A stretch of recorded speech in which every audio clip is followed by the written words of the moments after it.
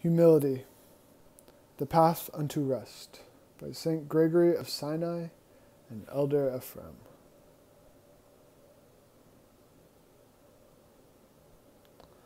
Those who say, or do anything without humility, are like people who build in winter or without bricks and mortar. Very few acquire humility and know it through experience and those who try to talk about it are like people measuring a bottomless pit.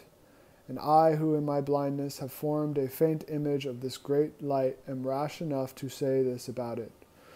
True humility does not consist in speaking humbly, or in looking humble. The humble person does not have to force himself to think humbly, nor does he keep finding fault with himself. Such conduct may provide us with an occasion for humility or constitute its outward form but humility itself is a grace and a divine gift.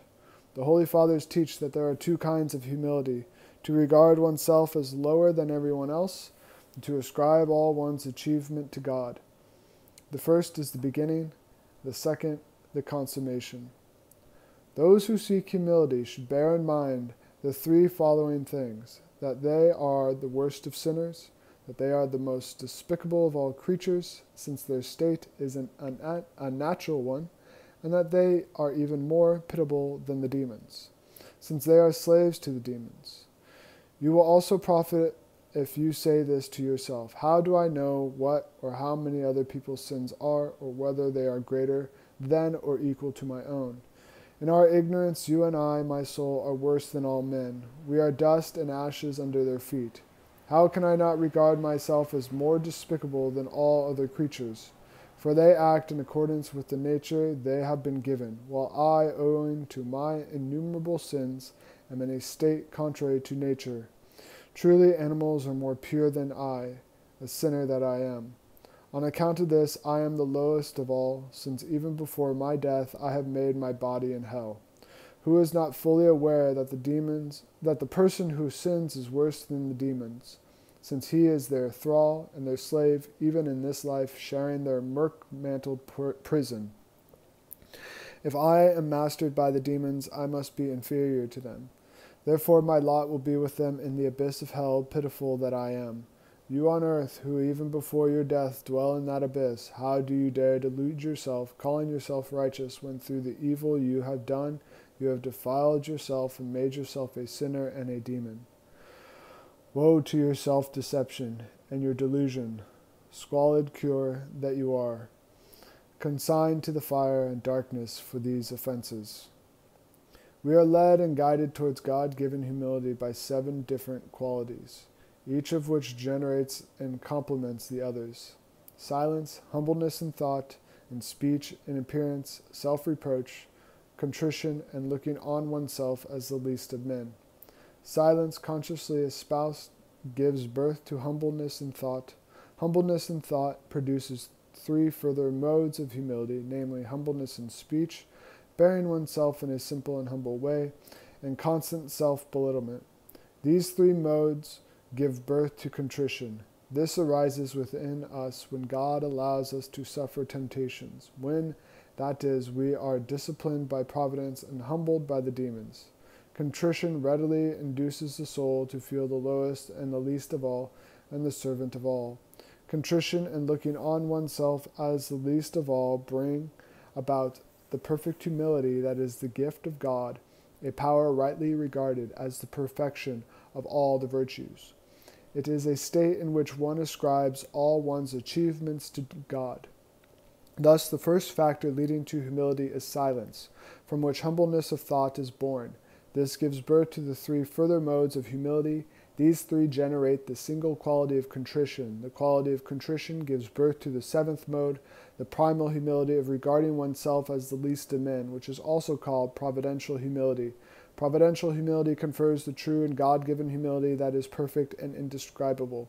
Primal humility comes thus when you are abandoned, overcome, enslaved, and dominated by every passion, distractive thought, and evil spirit, you can find no help in doing good works, or in God, or in anything at all, so that you are ready to fall into despair when you are humbled in everything, are filled with contrition, and regard yourself as the lowest and least of all things, the slave of all, and worse even than the demons, since you are dominated and vanquished by them.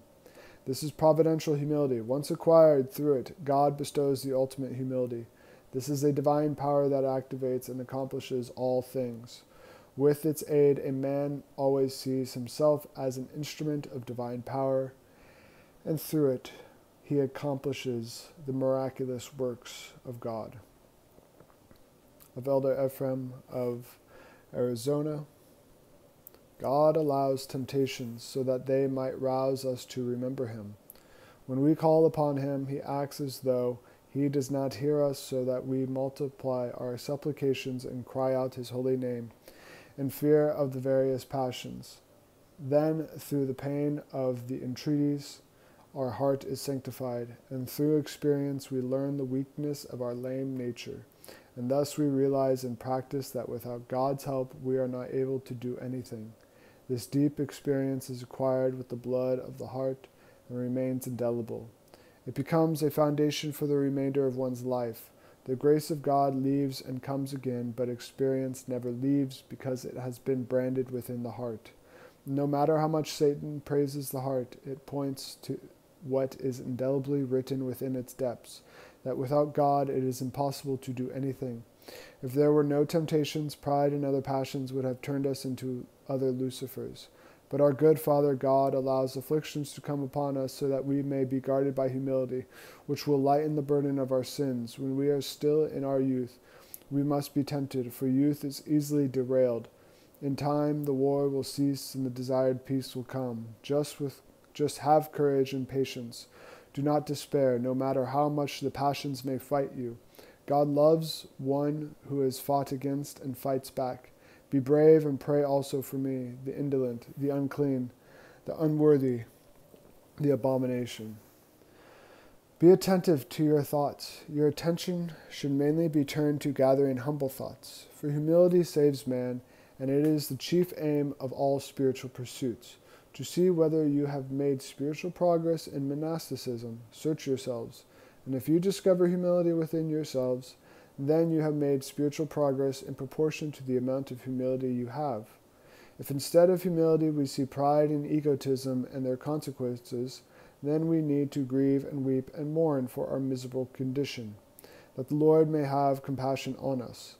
Let us flee far away from egotism. It emits an unbearable stench and miserable is the person who possesses this as his wealth. Such a person will never find peace, not only because of the annoyance of the passions lurking in him, but also because he is far away from true humility.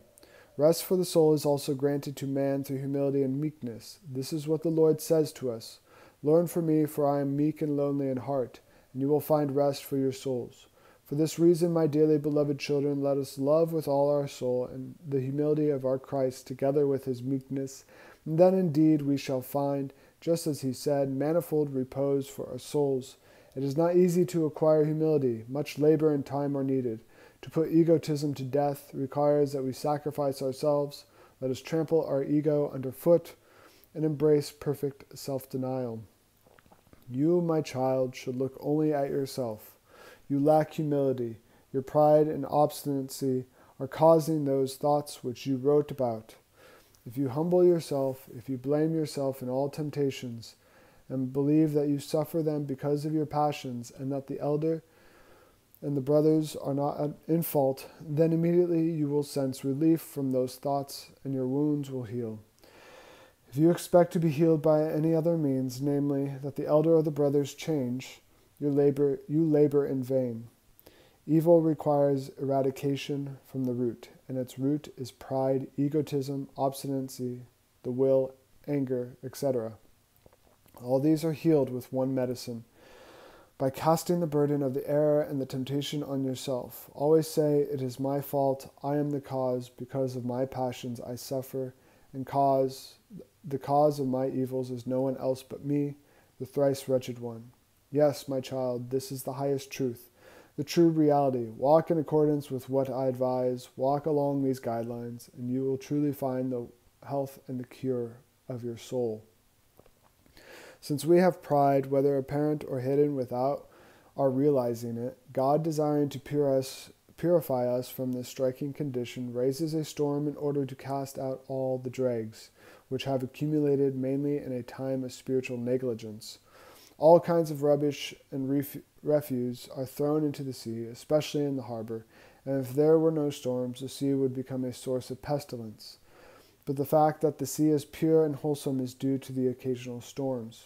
Spiritually, the same thing happens with our soul. With the sea of our soul, refuse, refuse accumulates little by little from our various passions and careless deeds, and the devil throws in his own trash too. We do not see how much refuse has accumulated. God knows, however, and since He wants to purify us, He stir- stirs up storms in proportion to the accum- accumulation of refuse, and thus He purifies the sea of our soul. Sometimes, after we pass through the temptation with patience, we see that our soul is calmed, joyful, and light as air.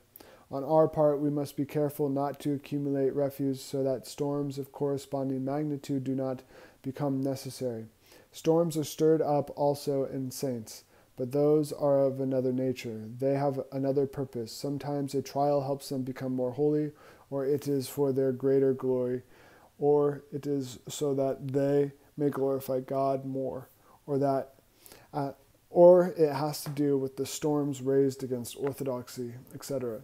So too it, it is, my child, that you have much humility, obedience to the advice of your elder, love for all, and that you never trust your thoughts, but follow faithfully the suggestions of your elder.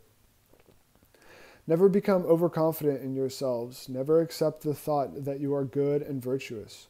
Reproach yourselves, accuse yourselves inwardly in order to slay your ego, which is the wall that blocks the Sun of Righteousness, Christ, so that his rays do not reach us to illumine our nous with the knowledge of God and of self. Love humility in everything, for our Jesus showed the example for us when when he girded himself with a towel and washed the feet of his disciples and said, "Do you know what I have done to you? That is, just as I humbled myself by washing your feet, you too should humble yourselves to one another." Through humility, contact with divine occurs sooner, for our Christ says, Learn from me, for I am meek and lowly in heart, and you will find rest for your souls. Rest for the soul is the truest sign of a healthy soul. Humble yourselves, degrade yourselves, abase yourselves, that the peace of God may come into your souls. Do not justify yourselves when the elder reproves you for one of your faults, but say, Bless. Let us love the humble dis- disposition, my child and if the Lord pities our nakedness, and sends us some ability to pray and clothe our soul with some divine garment, we must be cautious lest we soil it out of carelessness, that is, through pride, criticism, negligence, disobedience, etc. But let us make a greater effort to whiten it through good works, especially through humble mindedness and self reproach. God is pleased more with these than with great works done with vainglory. Always have perfect obedience. Obedience is the offspring of humility, whereas backtalk, quarrels, and disobedience are the offspring of pride, which a monk must hate as the curses, as the causes of his own soul's defilement. The whole essence of the matter, my child, is this. You are being attacked by a spirit of pride along with her sisters, vainglory, and arrogance, along with their helpers, filthy and blasphemous thoughts. Know, my child, that the spirit of pride is difficult to overcome. The spirit of vainglory is many headed and thorny. No matter how you change your thoughts or your way of life, you will find it in front of you like a thorn. And if this is how things are, what can we do? We should employ every means, whether mental or material, that leads us towards humility. Above all, we have to coerce our mind to think humbly and leave it to divine providence to arrange the deliverance from our reduction of this passion. On our part, we should preserve with a, with a fighting spirit, and God, in proportion to our struggle, will intervene as a succor and helper. About the dreadful passion of vainglory, St. John of the Ladder says, Vainglory till the tomb. That is, until we die, we will be attacked by vainglory, with the difference that it will be weakened by the war against it and by long experience of its falsehood. Weep before God so that he grants you a spirit of humility, for only through this will you advance towards higher things, towards the love of God. Spiritual progress is nothing but the acquisition of humble mindedness. Jesus, even though he is God, humbled himself so much, and we who are lowly by nature exalt ourselves and fluff out the feathers of vainglory like a peacock. However, when he throws us into some temptation and we and we peacocks see the ugliness of our feet, that is, the rotten condition of our soul, then we re- recognize what we, the race of Adam, are by nature, and that our pride is not humbled except by slaps and falls. Tears and mourning bring tears and mourning bring much humility. Therefore ask patiently from the giver of good things. Pray, do not overlook me, the prodigal one, O thou who wast born of a virgin. Do not overlook my tears, O joy of the angels, but receive me in repentance and save me. I pray that Jesus the humble of heart may give you his heart, so that you may experience his humility. Humility is a wonderful virtue which makes fragrant the one who has it. He who has humility also has obedience, love, patience, and every virtue. When we get angry or become enraged or criticize or do not obey, it is evident that we have a corresponding amount of pride and egotism. The more we progress in humility, the more the evil offspring of egotism will retreat. My children, let us humble ourselves for the Lord who humbled himself for us. The Lord showed us such humility, even to the point of crucifixion. We sh- so should shouldn't we, who are lowly by nature, bow our head to our own brother? Do we expect always to get our own way? If we want Jesus to dwell within our heart, let us love and humble ourselves like Christ. Let us not grieve him any more with egotistic manifestations. Let us not crucify him again with expressions and conduct lacking brotherly love. No more bitterness in the holy heart of our most sweet Christ. I entreat our Panagia very much that she grant me humility in all things, for it is a fundamental virtue, and without it the grace of the All Holy Spirit does not validate any of our work. When the Archbishop of Alexandria, Theophilos, visited the fathers of Mount Nitria, he asked the elder of the mountain, What have you found, father, more than us in this way of ascesis? And the venerable one replied, To reproach myself at all times. Truly, replied Theophilos, there is no shorter road to God than this. Didn't Lucifer and Adam fall away from God through pride and rebellion? Was Adam's, wasn't Adam saved by the humility of the Theotokos? Behold, the handmaid of the Lord, let it be to me according to your word and of the Son of God, who was born of her without change, who taught and practiced extreme humility. He also said, Learn from me, for I am meek and lowly in heart, and you will find rest for your souls. Whenever a person looks upon himself with humble thoughts and self reproach, he will see in his soul a sweet repose, peace, consolation, relief, and hope. While on the contrary, what shows him his pride of soul is restlessness, agitation, wrath, boasting, haughty tendencies, and so on. Ah, how effortless the road of humility is. Even without laboring ascetically or enduring illness, a person with humility and self reproach, along with thanksgiving to God, is able to reach spiritual heights and feel the gift of sonship. While, on the contrary, toiling ascetically without realizing one's own infirmity and weakness and wretchedness is a struggle without prizes, sweat without wages, a road without hope. What a misfortune to struggle without profit. Our holy God lets temptations come upon those who love him in order to teach them the art of war. The grace of God withdraws, and then clouds of temptations rise, and one reaches the point of saying, See, God has abandoned me. Then he has myriads of thoughts, strangulation of soul, and darkness and lapses everywhere. Holy wisdom, our holy God, causes all these, and we learn that, all, that only God is able to save us, and that without God all our own works are rubbish and chaff, which all scatter with the slightest wind of temptation. And it becomes apparent that we are rusty things, feeble and unable to face any temptation whatsoever without the aid of our holy God's grace. Through such things, the grace of divine providence teaches us the lesson of self knowledge, that is, of true, cognizant, solid bedrock humility. For without it, it is impossible to build a spiritual house. He abandons us to the point of despair, so that we are compelled to cry out to Him mournfully and lamentably, so that our mouth and heart may be sanctified. Temptations therefore bring about all these things. Indeed, let us pray that God will protect us from temptations, but when they come, we must pass through them with patience and wisdom to profit from them. Therefore, have patience in all things, and thus save yourself. My child, as a rule, you should have continual self reproach in every controversy. Do a prostration first, thus, thus you receive the crown first, and you cause your brothers to repent. At all times, Reflect on the Lord who humbled himself so that your soul is ready to endure every kind of humiliation for his love. That which plays the most important role in the spiritual struggle is for a person to learn to humble himself, reproach himself, and justify his neighbor. Whoever has learned this philosophy is surely greater and already the most sweet fruit of freedom from passions. Otherwise, he will drag his passions along with him to his great and constant grief. My child, reproach yourself constantly. Do not consider yourself to be right. Whenever you hear something bad being said about you, say, My brothers are right. This is how I am. I deserve even more slander because of my sins. Always consider yourself lower than everyone and refrain from giving orders as one having authority. In short, humility is everything. Always reckon yourself as very sinful and polluted, so that Jesus Christ may have sympathy for you and send you mercy and forgiveness of your many sins. Have obedience to all the brethren. Become last of all and the, the lowest if you want your passions and weaknesses to depart from you.